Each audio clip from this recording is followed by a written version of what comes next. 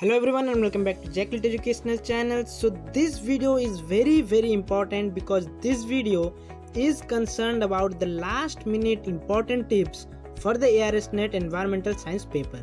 Yes here we will discuss that how many questions we should attempt in order to qualify this exam.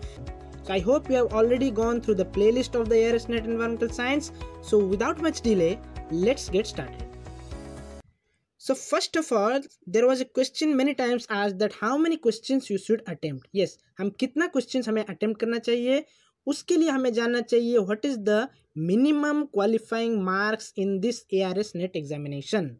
Yes, we all should know and will be knowing that total of 150 marks 150 objective type multiple choice questions will be given and we have to solve in the 2 hours duration and here it is clearly stated that minimum qualifying marks for the unreserved and EWS category is 75 marks that is 50% of the total marks. And for OBC it is 67.5 marks. For SC ST PWBD it is 60 marks.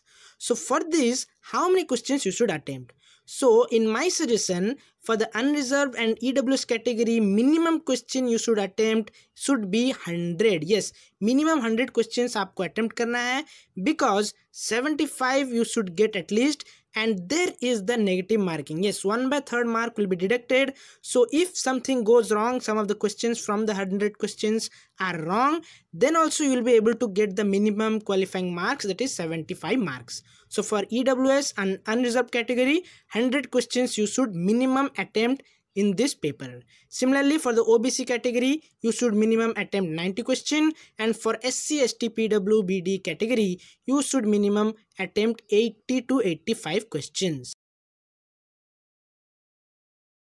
So guys, these three things are very important if you want to qualify this exam because this exam is not at all difficult if you are able to manage all these three things. They are time management, numericals and accuracy. So here you should focus on how much time you are giving to a question. If it is taking more time, then you should skip that and go to the next question. So this is the basic thing. Don't waste time much on a single question. Coming to the numericals. So here there will be no much numericals asked even if it is asked it will be very easy numericals or it will take very less time so don't focus more on numericals before the examination it will just give you more tension.